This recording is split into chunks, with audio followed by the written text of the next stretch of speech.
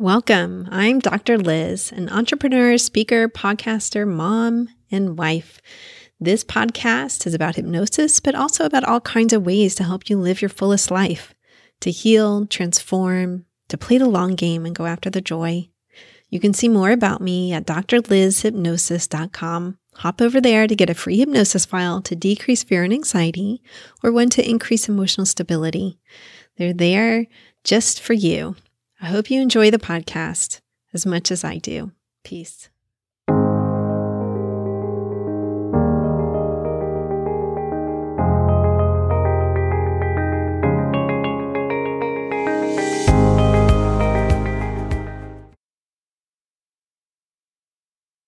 Hi, everyone. Dr. Liz here. Today, we're going to talk about radical acceptance and radical organizing what they are and what to do about them. Now, the phrase radical organizing just totally makes me laugh because I was working with someone who I introduced the concept of radical acceptance to, and he's like, Radical acceptance? What about radical organizing? He had this British accent, and it just sounded hysterical when he said it, like sort of the opposite of just acceptance. Like, oh no, he goes into motion, right? He like organizes when something happens to um, be able to handle it and deal with it and all of that good stuff. So I loved that. I really did. Um, I have a raccoon coming into my house right now. First time this happened, I was in Italy with my kids, and my husband was like, I think we have a problem. I thought it was with one of the cats or the dog or something like that. And he's like, Oh no, a gigantic raccoon came into the house and rummaged around the cat food and tried to get into the dog food and all this stuff. And I was like, oh my God. So we do have a pet door. The pet door is not for the dog, it's actually for one of the cats, Hazel, because she always wants to go in and out and in and out and in and out. And so finally, I got her a pet door. This works great for her. So the raccoon came in through the pet door. That's how it's coming in. He put the, um, you can close the pet door. So he closed it a day or two and then opened it back up and we just sort of forgot about it until last night and the night before. So both of those nights, I woke up in the morning and the food was sort of a mess and dirt seemed to be everywhere. And I thought it was the kitten, kitten Susu, who had done all this. And I just cleaned it up. Well, this morning it had happened again. And the water that's on the floor for the dog was also super dirty. And then I noticed there were tracks everywhere. And I was like, oh my God, those are not kitten paw prints. Those are raccoon prints. And I was like, ah, like, what are we going to do here? Now, this is sort of a humorous problem, I think, okay? But this is how we're going to look at these things. Um, first step is to accept that it's happening. Like, oh my God, I have a raccoon problem now. That's radical acceptance. I am not fighting reality. I'm not pretending it's not happening. I am um, not blaming it on another animal. I am simply like, oh, I have a raccoon problem. I've got to do something about it. Then, once I can accept that, I move into organizing. Like, what am I going to do? I'm going to put the pet door on. Um, do I need to get a live trap so the animal isn't harmed, but is taken away somewhere else, not in my neighborhood, so it doesn't come into my house anymore? At one point, I said, maybe I should put cat food outside for it. And my husband was like, no, that is like not a great idea. Okay, you're gonna feed the raccoon and other animals in the in the neighborhood. Like, no, that raccoon will never stop coming here if you do that. Said, okay. Um, so we're just like tossing around ideas, going into what to do about this problem. That's radical organizing. But let's look at radical acceptance. Now, this concept actually comes from the world of Buddhism that's where its roots are. In the concept that suffering comes not directly from pain, but also one's attachment to the pain. Now, the intention here is to not allow pain to turn into suffering. And we do that with radical acceptance of what's going on. Now, I obviously talked about a very funny example a raccoon coming into the house. Oh, and by the way, it went into my daughter's bedroom because there's a little bowl of cat food in there. It's kitten food um, for Susu Kitten because sometimes we have to put her in the bedroom if the big cat wants to come in um, when it's rainy or something like that. Anyway, the raccoon went into my daughter's bedroom and ate the food in there too, and drank the water and made the the water really dirty. And that part sort of freaked me out. Like, all right, raccoon in the house. All right, raccoon in my daughter's bedroom. I'm not really cool with this. Okay, so um, back to the point here. What we do with radical acceptance is we accept, okay, this thing is going on. Painful events happen in our lives. We cannot avoid them. This doesn't mean that we agree with what happened or bad behavior of others or that we're um, condoning it, nothing like that. In fact, in the roots of Buddhism, they say when people are behaving in a way that threatens your needs or threatens your safety, you should of course, empathize and try to understand, but you're also obligated to seek justice. We're going to take a little tangent here. I uh, worked a lot with anger and anger management in the past, and there's a wonderful book on anger by Pema Chodron, who's also a Buddhist monk. And in that book, she says sometimes the kindest thing that we can do is to stop someone from continuing to act out on us, from continuing to harm us. It's actually kind to not just ourselves, but to them as well. Like, we're not going to participate in creating violence anymore, creating this bad karma that's going on anymore. But to be able to do that, you first got to accept that that shit's going down, right? like, this is happening. If you never move to that, step, then you really can't move into radical organizing. You can't move into action to change things. Now, in my practice, I do work with people going through some really painful events, some more than others. And sometimes it's really difficult for them to accept these painful events. I sometimes get referred tinnitus or tinnitus cases by an audiologist because CBT and hypnosis is effective for that. But part of the process is really radically accepting that this is going on, that they have ringing in their ears that isn't going away. So we accept reality as it is. We accept that there's limitations for everyone. We accept everything has a cause, including events and situations that cause you pain and suffering. And then we accept that life can be worth living even with painful events in it.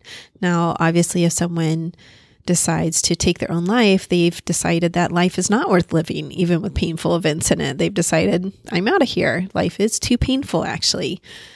But when we're not making that decision, then we are saying, okay, how do I organize so that life is worth living? Even with painful events in it, even with things that have happened in the past that I don't like, even with things that are happening right now that I don't like. So we are getting more into the DBT handout and concept of radical acceptance, dialectical behavior therapy. I am trained in DBT. And originally, DBT was developed for people who are suicidal and who are BPD, borderline personality disorder it's been applied now to all kinds of different areas addiction, eating disorders, all kinds of stuff because it is so useful. I use it in my practice all the time, even when someone is not a borderline.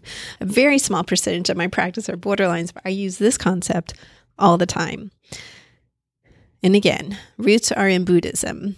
Now, there's factors that interfere in us doing this we don't have the skills for acceptance. We don't know how to accept really painful events and facts, or we believe that if we accept it, we're making light of it or approving of the facts, or perhaps that nothing will be done to change or prevent future painful events. So, we just talked about that a couple minutes ago that accepting that something happened doesn't actually mean that we're approving of it or that we cannot act ourselves to prevent it in the future. A third factor is that emotions get in the way. So, sadness, anger, rage at the injustice of the world, overwhelming shame about who we are, or perhaps guilt about our behavior. So, emotions sometimes do get in the way of us moving into a sense of radical acceptance. Um, there was a, a tinnitus case where the guy was blaming himself because he had gone diving. And that's what, and that's when it started. And so he is super angry at himself that he'd gone diving. It's like, even though that's not something that anybody could have predicted would have happened to him.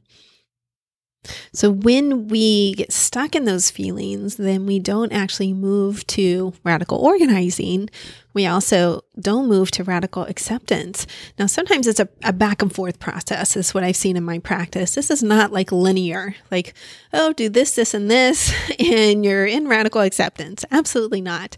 This is a process that goes back and forth in your mind that you have to practice over and over and over again. You don't have to. You can choose to practice over and over and over again until it becomes a little bit easier for you.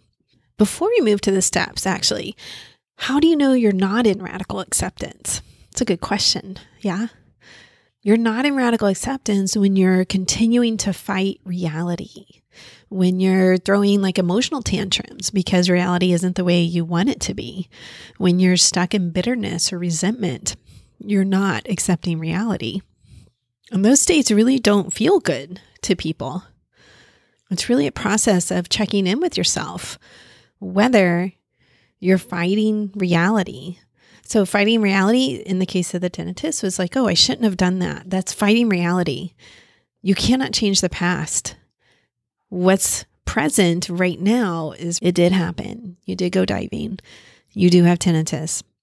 Fighting reality in my raccoon case would be hmm, let me pause here for a moment. Let's see. What would be fighting reality in my raccoon case?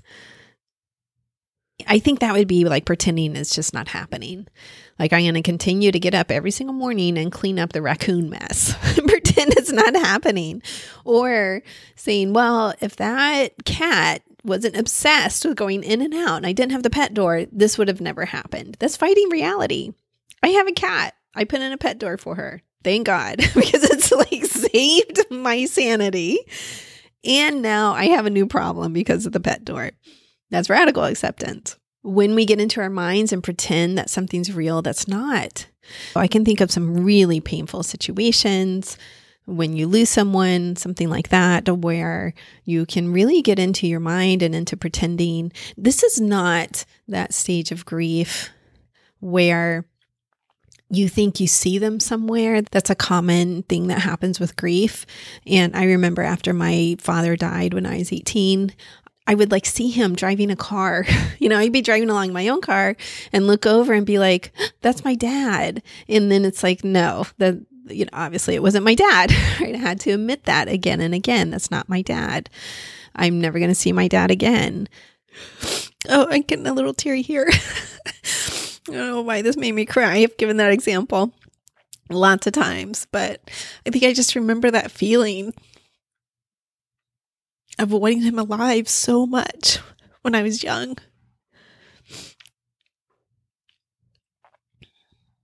And also the pain of having to accept that again and again that he was never coming back. I was never going to see him again.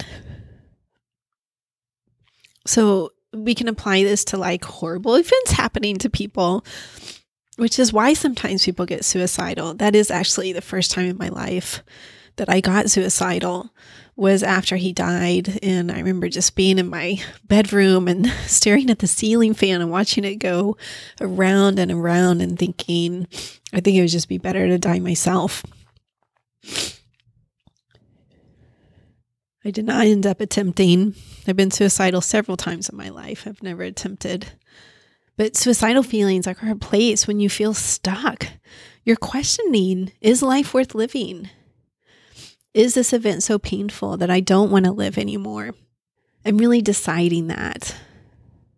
But when you don't accept reality, when you don't accept that something has happened, you really get stuck in sadness, deep sadness, suicidality sometimes, shame, unhappiness, bitterness. You get stuck. okay, so what was I saying? Um, that this is not the same as like wanting to change the past is not the same as like the stage of grief where you think you're seeing somebody that's not actually there. That's actually, again, pretty common um, that people move through. That's not typically rejecting reality. That's just something that our mind does to us.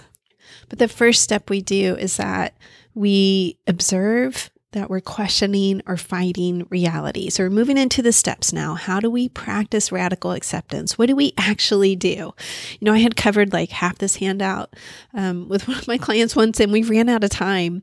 And um, sometimes I wish sessions were like, let's schedule three hours and just see how long it takes us. you know, um, with hypnosis, I actually do schedule two to three hours because I'm not quite sure how much it's time is going to take us. But typically with a talk session, it's like, oh, 45 minutes or a 60 minute session, we're done.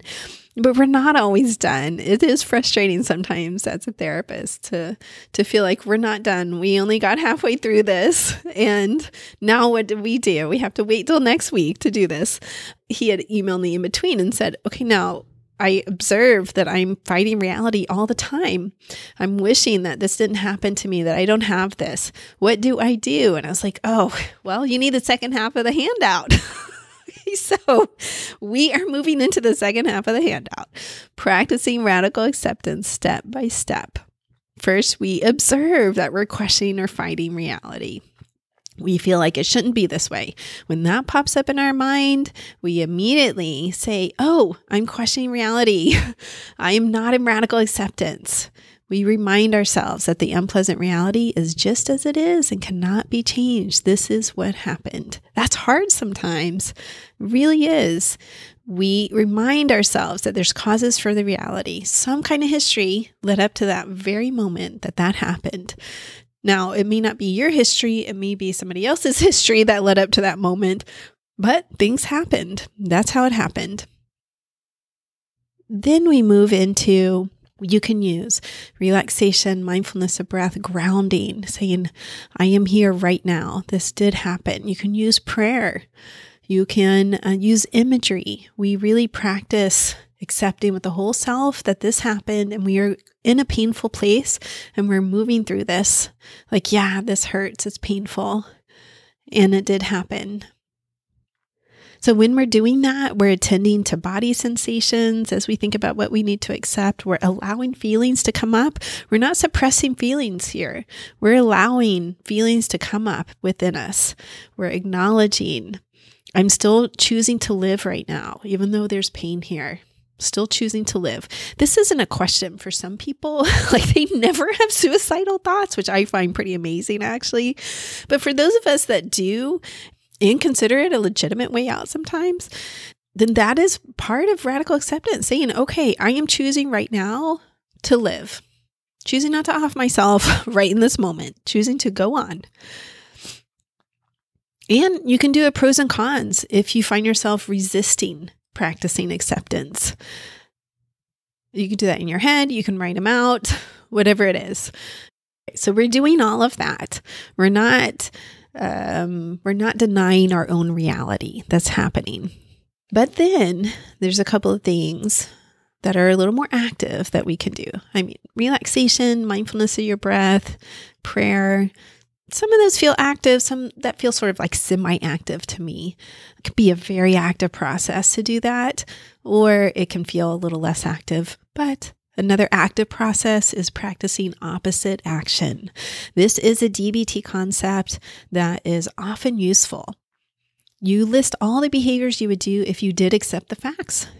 Then you act as if you have already accepted the facts. So you engage in those behaviors that you would do if you really had accepted that this had happened. Let's talk about a breakup. Like someone goes through a breakup and they're really struggling with it and they don't want to accept it and they do want to reach out. Maybe they even do reach out and continue to text or try to contact the person who's like, hey, this is done and please don't contact me. Oh, this is reminding me. I dreamed about my ex boyfriend last night. No wonder I I woke up in a slightly like agitated state. I'm just remembering right now that yeah, I dreamed about him, and he was someone who stalked me for like two years after I had said I went no contact with you. Um, that's why it's coming up in this very moment. And the dream was that I was with my kids and I saw him and he was out with somebody and I did not talk to him. Like my kids said hello, but I actually walked away. That was the dream. Anyway, let's say this is happening to you and you do have the urge to contact or do this or or ruminate about the past or think about if I had done this different, then maybe we'd still be together. That's not radical acceptance. That's out of radical acceptance. So we engage in the behaviors that we would do if we really had accepted it, meaning what I would do if I accepted that breakup is I would pretend that person is off limits.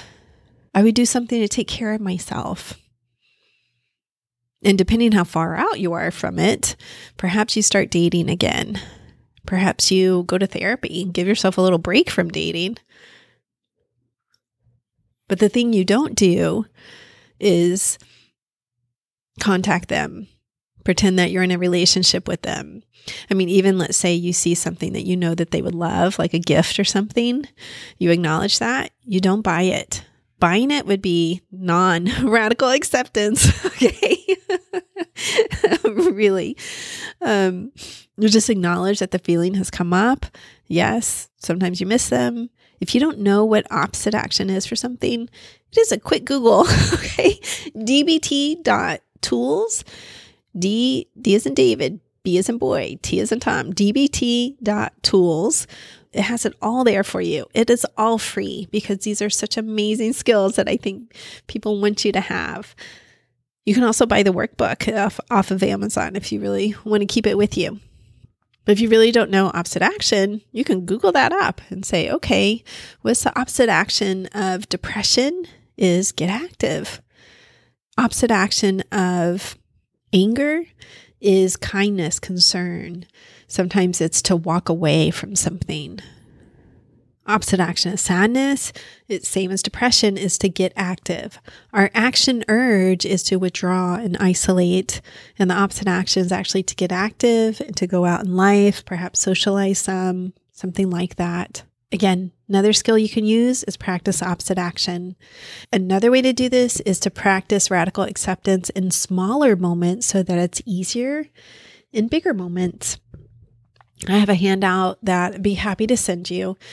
It's radical acceptance coping statements. And really, if you email me, Dr. Liz at drlizhypnosis.com, I will send you this handout. okay. No problem at all. No charge for it. Totally free. Or if you even want to talk through something, I offer a free consultation, 15 minutes. Usually that's for new clients. I have had people schedule in the past just to talk through a situation. I'm okay with that. I love to give service and I consider that service. Just let me know in the notes if you do that. But radical acceptance coping statements gives you different ways to practice. So some of the phrases you can use is this is the way it has to be for now. I can't change what's already happened. The present is the only moment I have control over. This moment is exactly as it should be given what's happened before it. Now, that one's hard for people. I mean, think about losing a parent or a child or something, clo- someone close to you. You do not feel like that's as it should be. But given what's happened before it, it's like, yeah, all kinds of factors happened that led to that moment. So that sort of goes into the spiritual realm. Spirituality is a good tool for you if you're into that.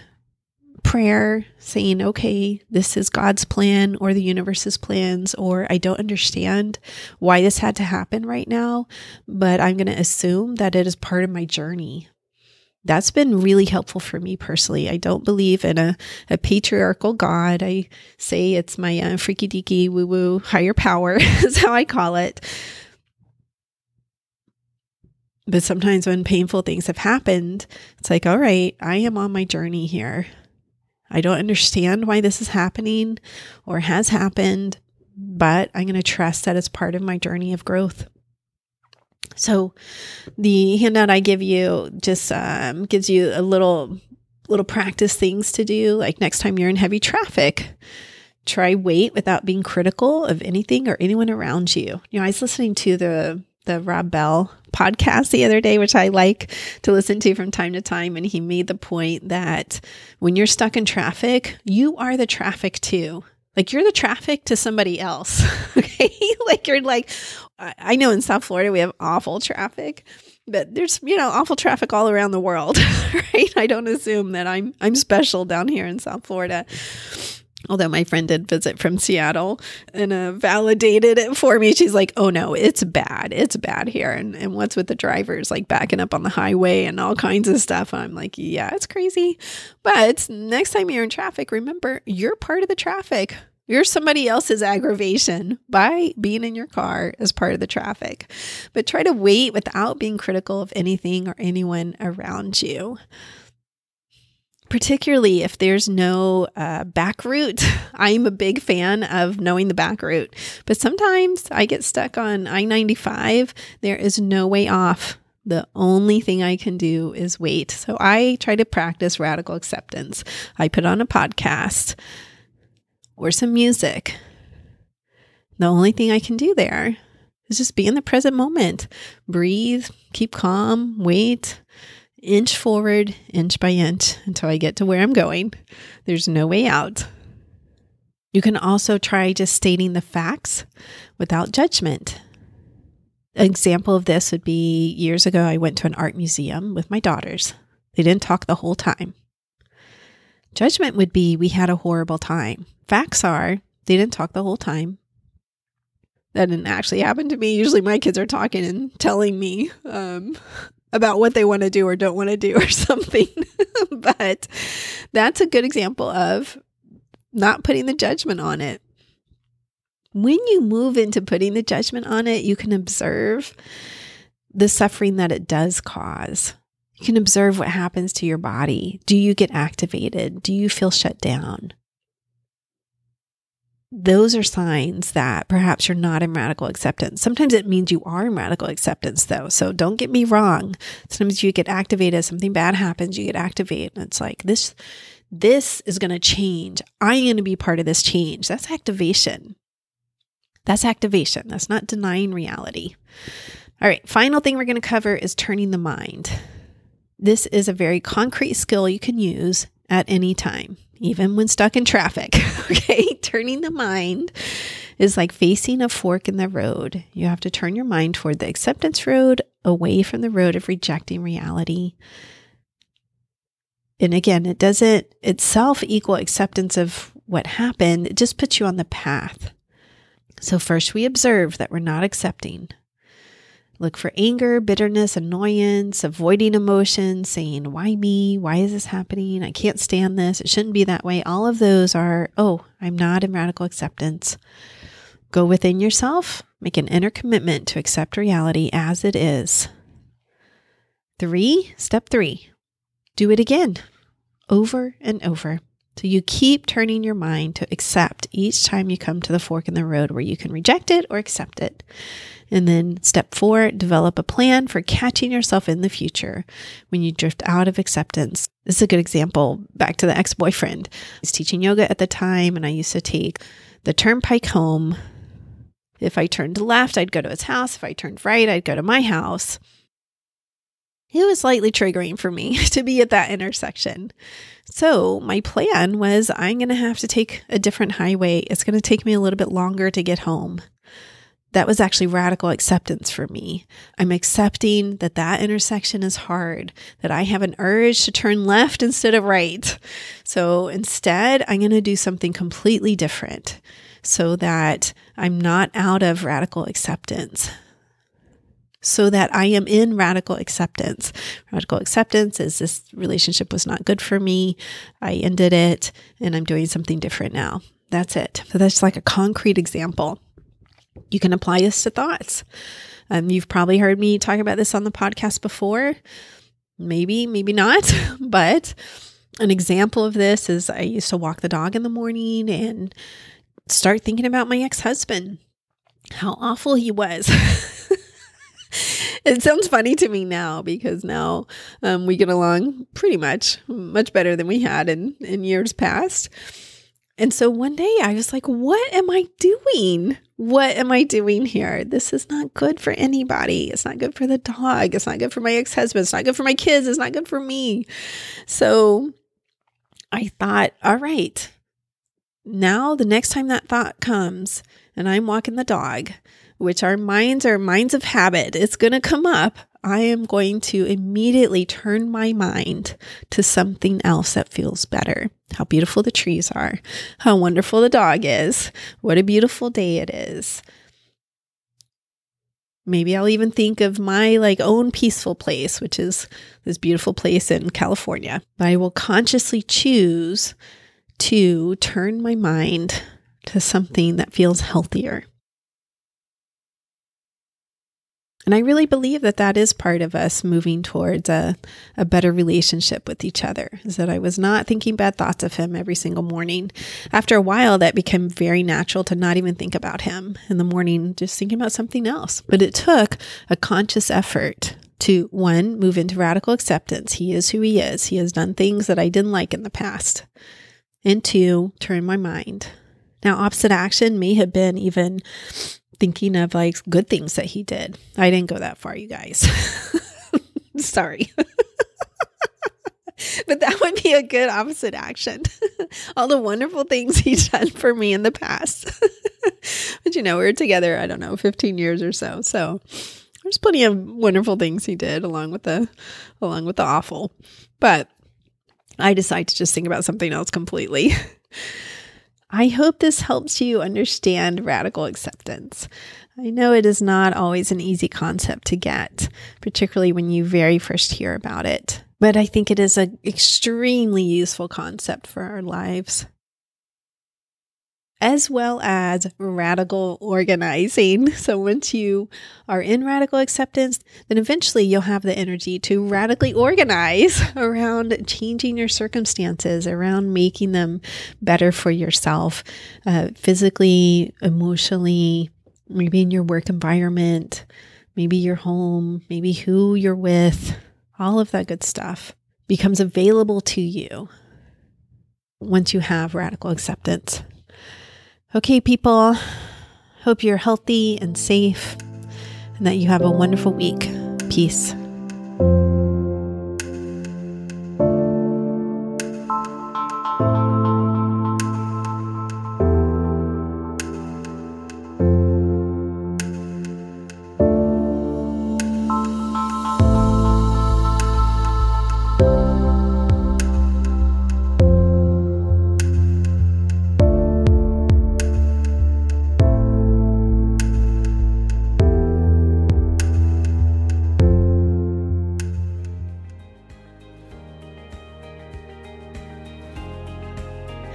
Hope you truly enjoyed today's episode. Remember that you can get free hypnosis downloads over at my website, drlizhypnosis.com. D R L I Z hypnosis.com. I work all over the world doing hypnosis. So if you're interested in working with me, please schedule a free consultation over at my website and we'll see what your goals are and if I can be of service to you in helping you reach them. Finally, if you liked today's episode, please subscribe to the podcast or tell a friend. That way, more and more people learn about the power of hypnosis. All right, everyone, have a wonderful week. Peace. This podcast is not mental health treatment, nor should it replace mental health treatment. If you need therapy or hypnotherapy, please seek treatment from a trained professional.